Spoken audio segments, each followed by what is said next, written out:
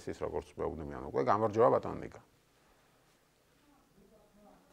თუ გესმით ჩემი ხმა ხმარის მის ნიკას ბატონ არა თქვენი თქვენი ხმარ გვესმით ბატონო ნიკა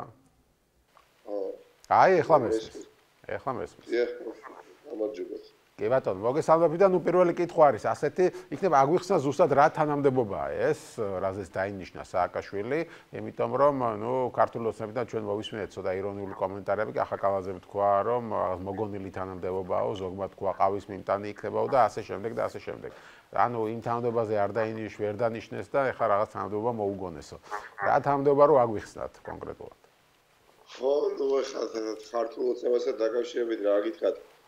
მე მგონი არ ვიცი ხა რო არ ვიყო პოლიტიკური პარტიის ამომადგენელი და უბრალოდ რიგითი მოქალაქე ვიყო მაყურებელი აუცილებლად იგივეს ვიფიქრებდი რასაც ახალ ფიქრობა. არ გამოიყურებია დამაჯერება თქო როგორც მინიმუმ.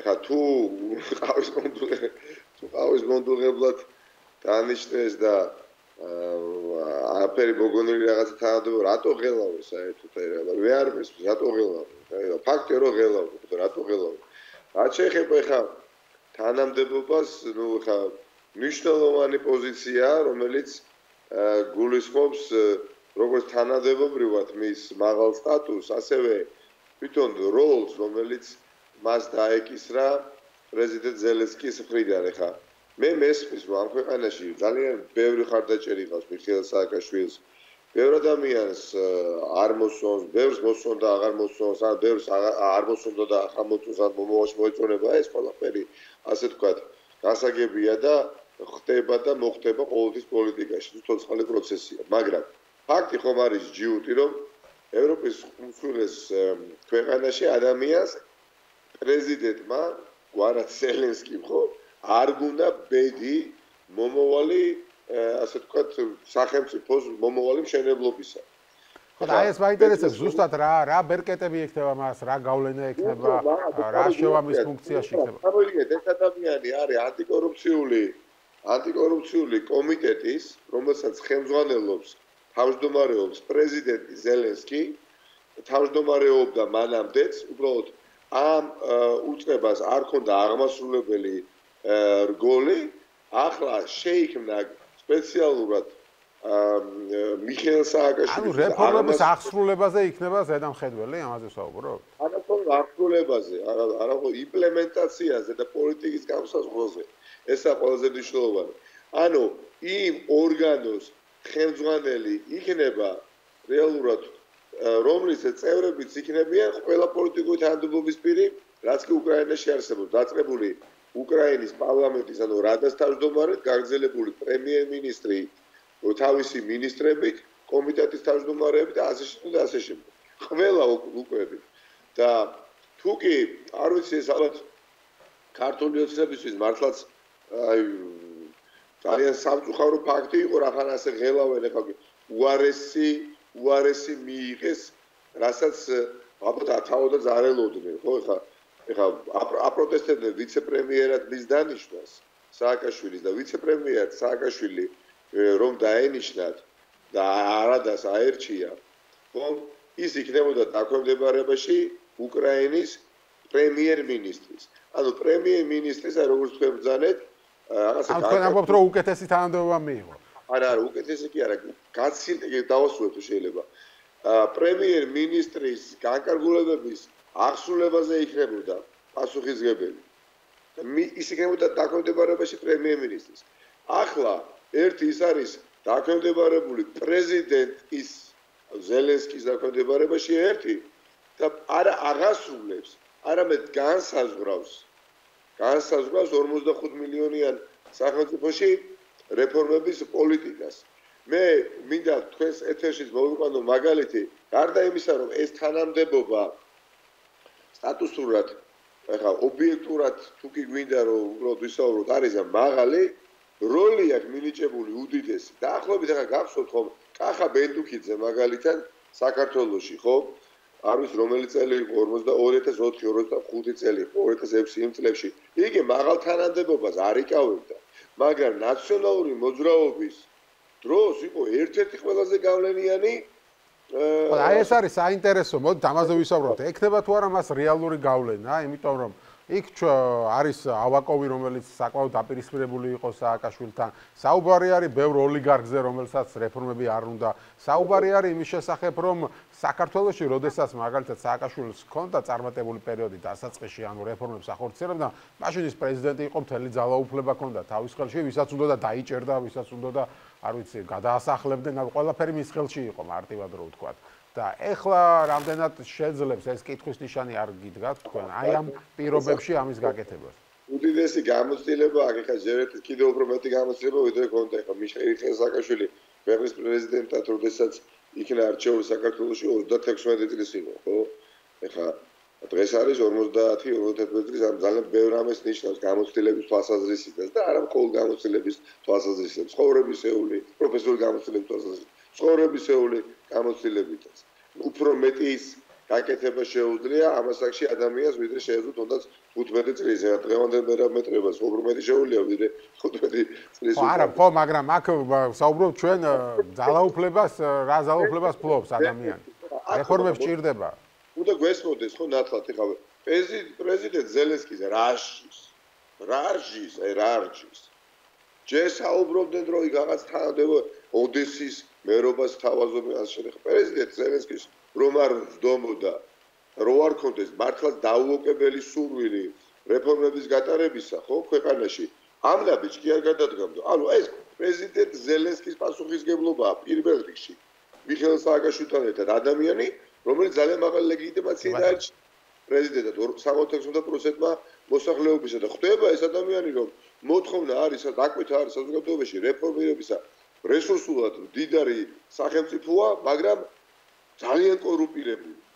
ძალიან კორუმპირებული. ხო, აი ამასთან ბრძოლა რამდენად მარტივი იქნება ამას ვამბობ. ანუ წარმატება, ანუ ბევრი ამბობს, რომ მოდი წინასწარ ნუ გაიხარებენ, წარმატება იქნება თუ არა, აი ეს მომავალში გამოჩევით, პირველ ეტაპზე სააკაშვილს არ ქონდა წარმატება, როცა თქვა პოროშენკოსთან მუშაობდა, პირიქით, მერე პოროშენკომ თაუბედი იწყებაო და აუცილებლობის წარმომადგენლები ახლა ზელენსკის უწინასწარმეტყოლებენ იგივე ბედს თაუბედის წყევლას. ამას ისაუბრა თავად სააკაშვილმა, ხო, მე ვფიქრობ საინტერესო ბოსფენლის გეკრებოდა, ანუ ის პირობა, რომელიც მაშინდელმა პრეზიდენტმა უკრაინის პოროშენკომ აიღო სააკაშვილის წინაშე სამწუხაროდ არ იქნა შესრულებული, ანუ ხარდაჭერა არ აღუქვა მას რეფორმების გატარებაში ოდესის ოლქში და ეს თვალნათელი იყო. ხა თავად მოდით პირდაპირ ვთქვა თავად ორპატორი პოროშენკო შორს არ იდგა ოლიგარქი ოლიგარქიისგან.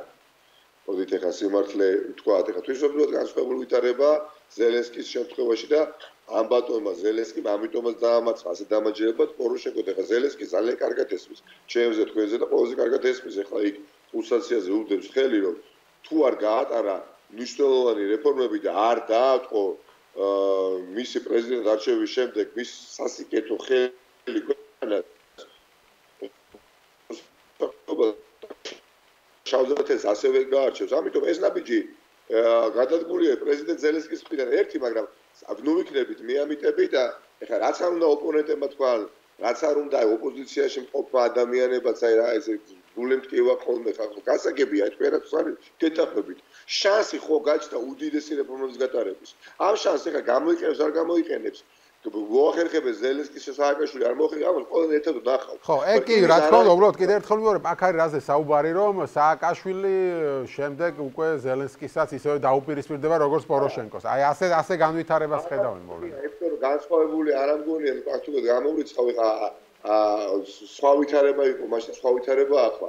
მაგრამ მე ოპონენტებში გულისხმობ პოლიტიკურ ოპონენტებს, რომლებიც ამ შანსს საერთოდ არ ხედავენ, არ ხედავენ უბრალოდ უარყოფენ. არ არის ეს უბრალოდ სიმართლე და არ ეკადრება არც ეს ოპოზიციური პარტიის ლიდერს, წარმოგიდგენთ და არც ხელისუფლებაში ყოფ ადამიანებსაც, ხო? გავა 3-4 თვე და ხო დავინახავთ. ეხლა უკრაინაში საბაჟო სისტემა არის, როგორ გითხრათ, ეს პრაქტიკულად შევარდაძის დროინდელი სისტემის ტოლფასი.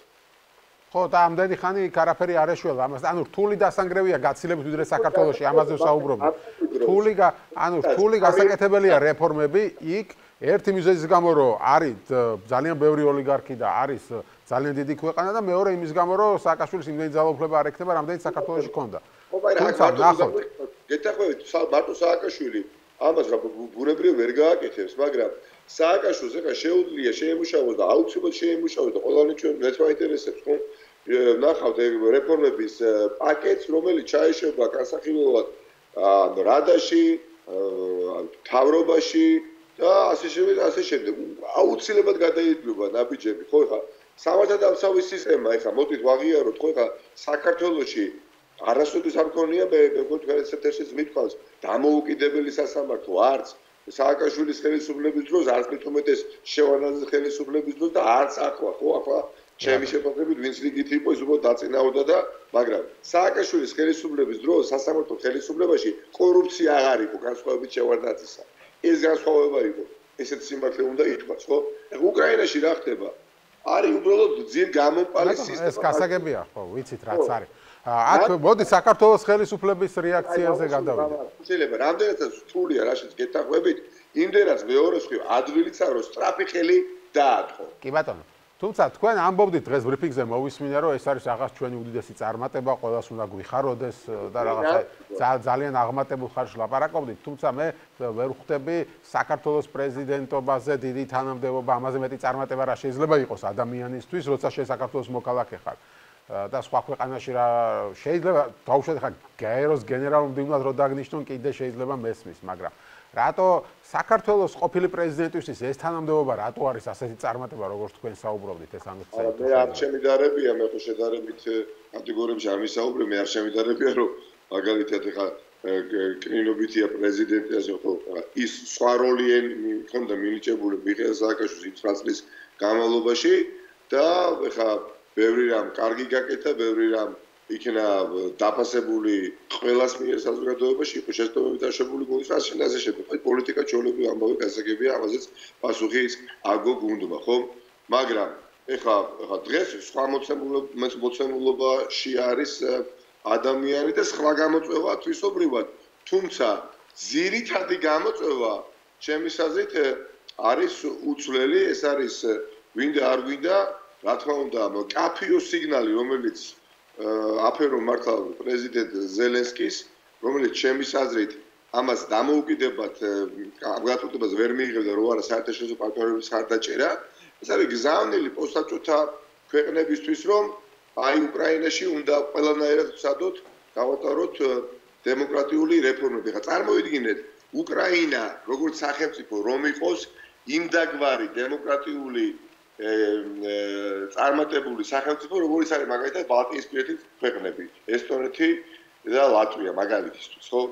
ეხლა 45 მილიონია სახელმწიფოში როდესაც იქნება დემოკრატიული წესრიგი ხო და წესყობილება და იქნება ეკონომიკურად აყვავებული სახელმწიფო რომელიც ჩვენი პარტნიორი ხო ეს ყველასთვის კარგია გეთახმებით ამაში შეუძლებელია რომ ჩვენზე არ დაიცახოს არა მარტო ჩვენზე სომხეთზე აზერბაიჯანზე ჩვენ ვიყავით ქვია რეფორმების კატალიზატორი და ეხა სომხეთიდან და აზერბაიჯანიდან რო ჩამოდიოდნენ ჩვენ აღძუდგებოდათ კარგი გაგებით და მოხდა ამ რეფორმების მერე უბრალოდ ექსპორტი ხო?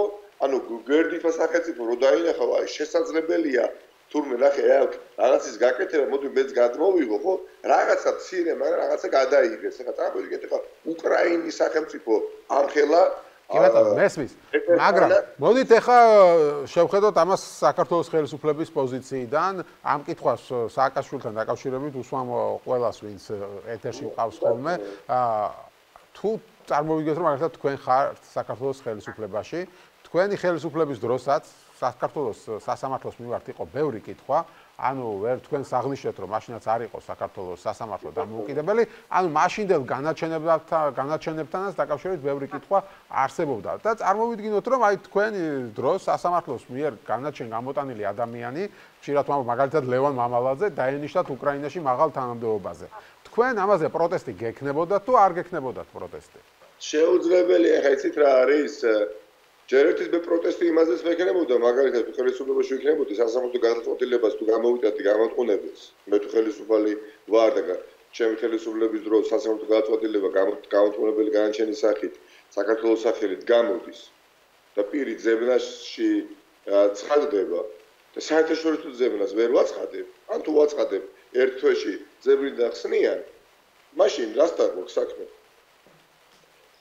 ვის მიმართაც გამოტყუნებელი განაჩენები გამოიტანეს ან მე ხო მე ხო ამაზე არ გედავებით ეხა სამართლიანია განაჩენი თუ არა ამაზე არ გედავებით?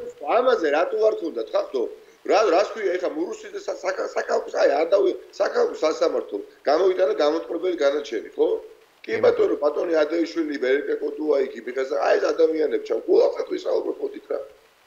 იო პრაქტ ზოგის მიმართ საერთოდ ზემნარ დადგარა საერთაშორისო დონეზე ანუ ინტერპოლის ხაზით და ვისმერთაც დადგა ერთში მოიხსნა და მაშინ რატო ბუკიდან აღარა არ შემოკვდეს კაცო მაშინ რატო არ ახსოვთ მე ხო?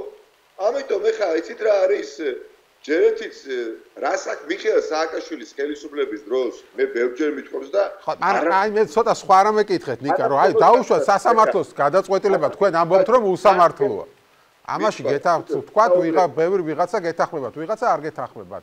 ვიღაცა გეთახმებათ რომ საქართველოს სასამართლოს გადაწყვეტილება უსამართლოა მაგრამ თქვენს დროსაც იყო ეს კითხვები მეთქი ამას ვამბობ და იმ დროს აი ამ სასამართლოს მიღებული გადაწყვეტილებით ვიღაცა რომ დაენიშნათ ეს პროტესტი გამოიწვევდა თუ არა თქვენში ამას გეკითხებით? მიხეილ სააკაშვილისა და მაგალითად ბიძინა ივანიშვილის შედარება როგორც პოლიტიკოსებს ერთმანეთთან არ შეუძლებს იმიტომ რომ მარტივი მიზეზია ორივე პოლიტიკოსი არ არის. ერთი არის ოლიგარქი და მეორე არის პოლიტიკოსი. პოლიტიკოსი, რომელსაც ბევრი კარგი გაუკეთებია და ბევრი შეცდომას დაუშვია. და პოლიტიკური პასუხისმგებლობა დაუღიათ, მაგრამ იმ მუხლებით, რა მუხლებითაც სააკაშვილს ბრალია წაკერებული და მე გამწყვეტ გამწყვეტ გაჩე გამოტანილი აქვს. მე რა, აი და მითხარი რა გულახი. ამაზე არ გედავებთ კი, ამაზე მე ჩემი აზრი მაქვს, მაგრამ ეხა მაგაზე არ გედავებით. ბატონო ნიკა. სალომე ზურაბიშვილი უნდა იყოს რვაჯერ უკვე გასამართლებული. რვაჯერ. ამაზე ამაზე ეხა არ ვლაპარაკობ. არა, გასაგებია, მაგრამ თუ კი გავაპროტესტებდი მე რა, ჩემ מחვილ კაფიო და არ ვიცი მე ხაბ ხმას მივაწვდიდი იქ, სადაც საჭიროა. და გამოდის რომ ეხა ოლიგარქის ხელისუფლება საუბრობს, საუბრობს და ყურადღებას არავინ არ აქცევს. ცივილიზებულ სამყაროში არც ევროპული პარტნიორები, არც ამერიკელი პარტნიორები, არც პასპორტს უცხო სიმცირე ჩვენი ასე ვთქვათ, მნიშვნელოვანი პარტნიორები არავინ ყურადღებას არ აქცევს, არავინ ანგარიშს არ უწევს. ყველა უდრექს, ზურგს, მათ და მაშინ რასთან გვაქვს იქნებ კითხვა მათთან უნდა გქონდეს. ხედავთ ჩვენ ერთის თუ ამ გადაწყვეტილებას რომ აი ეს დღეს რა დანიშნო უნდა გაეპროტესტებინათ თუ არა თქვენი აზრით? დანიშნას ეს გაპროტესტებაც არ არის, თან აპროტესტებენ და თან დაცემია, თან დივანი ხარ და თან რეცხავი ხარო და თან არ ვიცი მე ძიძა ხარო და თან რა რას აპროტესტები ვერ აპროტესტები თუ დაცინია თვითონ ვერ ჩამოყალიბებულან აა ვერ გავიგე რასაკეთები ხო ხო. ნუ ფაქტობრივად პოლიტიკური დემარში აქტივ ნახეთ. აღვიქვათ კი ბატონო რომ ზურგი და დასალურმა ცივილიზებულმა სამყარომა შეიძლება ჩემი ბევრი კოლეგა ოპოზიციაში ბევრი თუ რამდენიმე შემომეკამათოს, მაგრამ ასეა, ეხლა ვიცით როგორ კეთდება საერთაშორისო პოლიტიკა, ხო? ეხლა მეტაკლებად ყოველას გვაქვს ეს ასე ვთქვათ, ცოდნა, ხო? ვიღაცას მე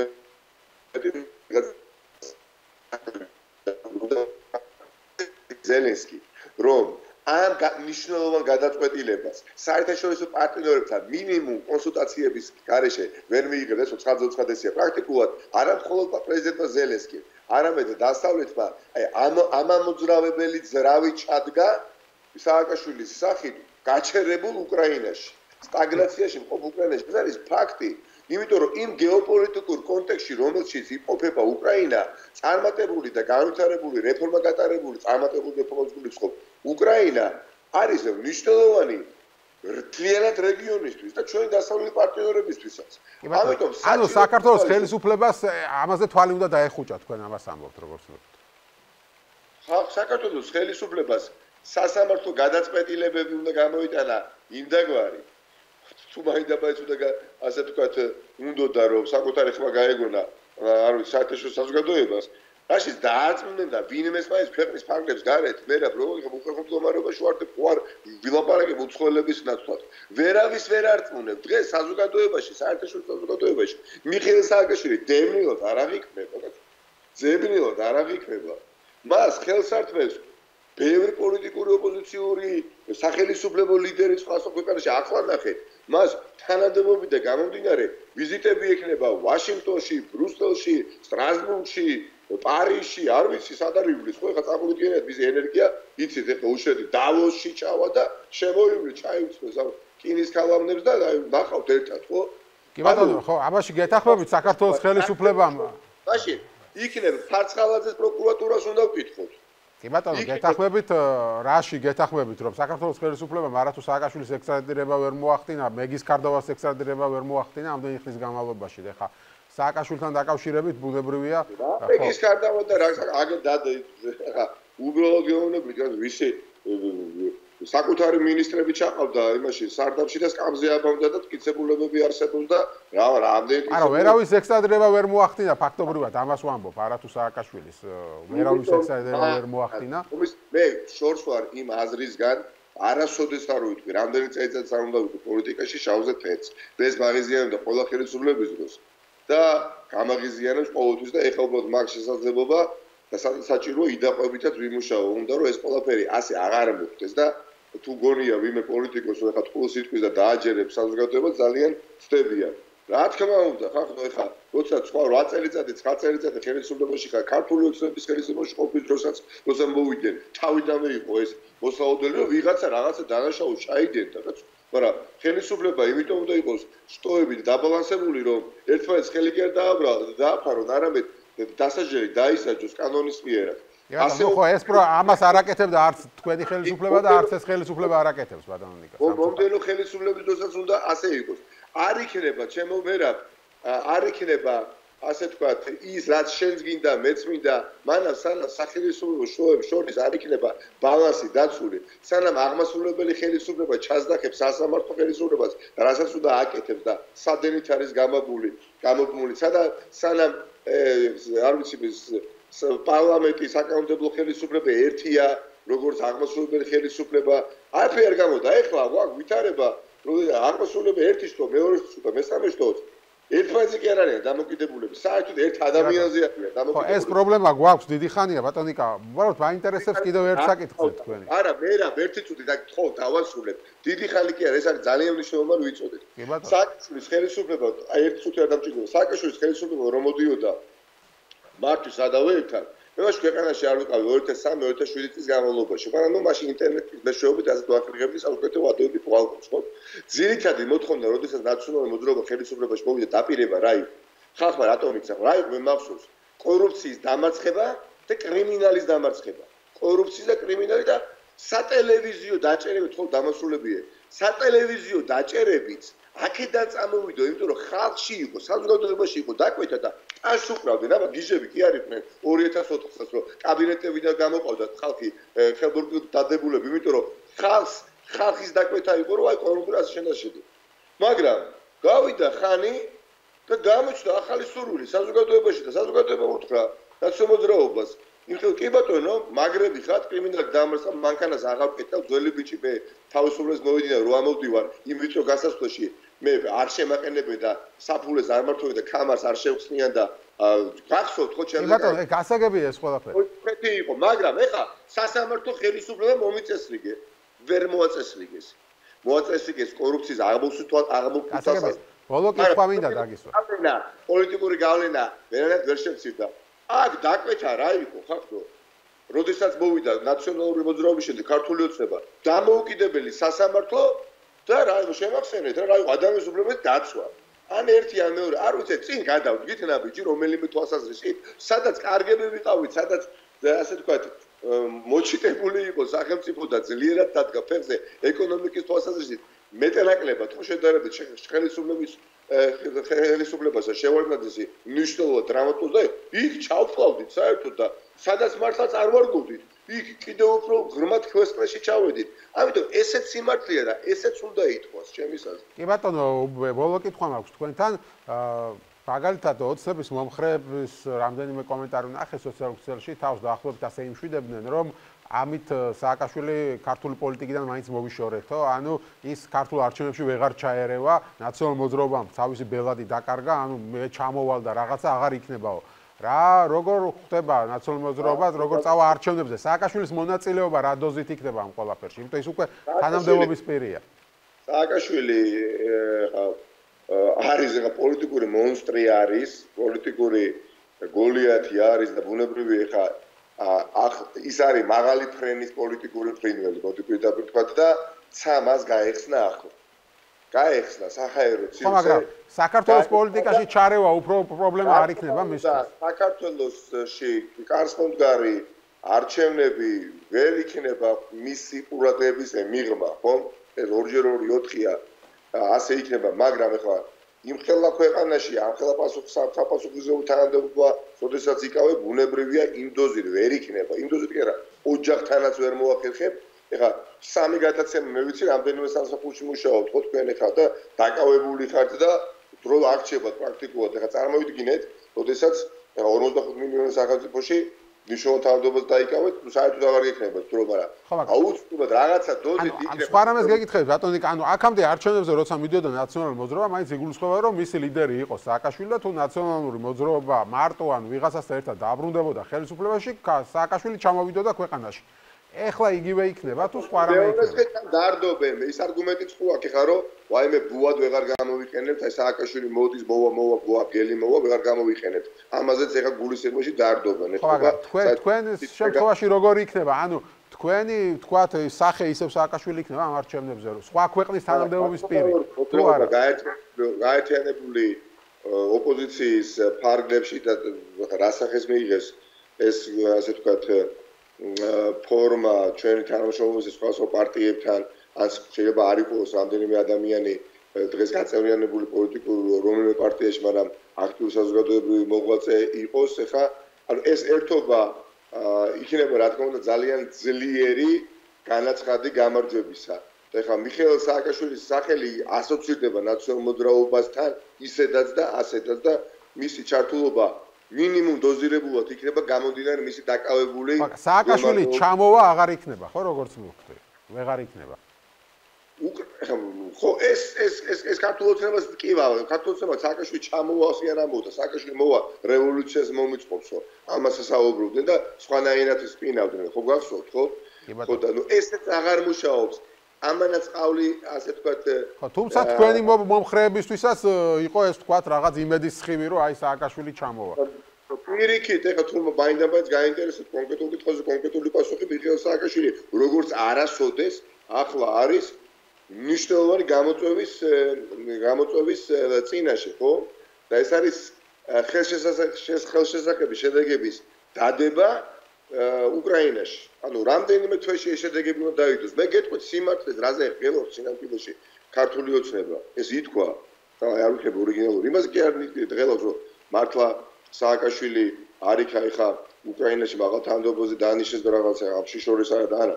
ზუსტად იცის ქართულმა ოცნებამ უკრაინაში მიხეილ სააკაშვილი თუ წარმატებას წარმატებას მიაღწევს და დიდი ალბათობა და შანსია ამ ყველაფრისა სარკისებლად აისახება ეს ყველაფერი წინასაარჩევნო ვითარებაზე, წინასაარჩევნო კამპანიაზე ელემენტარულად თანამედროვე კონტრასტი გვექნება, გამიგეთ? პირდაპირ გეუბნები დაუმალავად. და თან თანამედროვე, აი, ჩვენ თანამედროვეობაში ხო ის კი არა რა ვაკეთ ბატონო, ხო ეს არის ეს მომენტი, მაგრამ მეორე მხარე არის თუ ვერ იქნება წარმატებული, შეიძლება თქვენთვისაც სავალალო აღმოჩნდეს. ნახოთ.